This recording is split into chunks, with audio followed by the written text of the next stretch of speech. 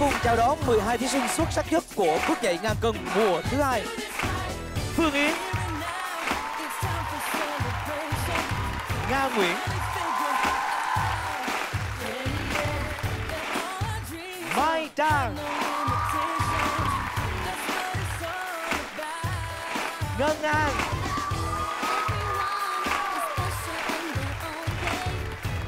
Tố Tố,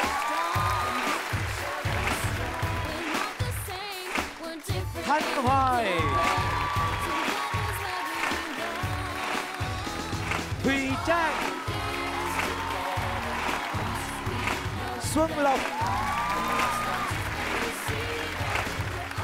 Ngọc Khánh,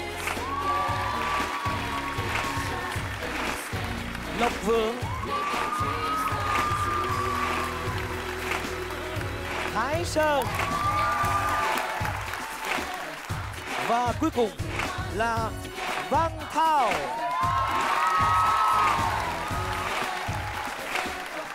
Một lần nữa, hãy dành tràng pháo tay thật nồng nhiệt để chào đón top 12 của bước nhảy ngàn cân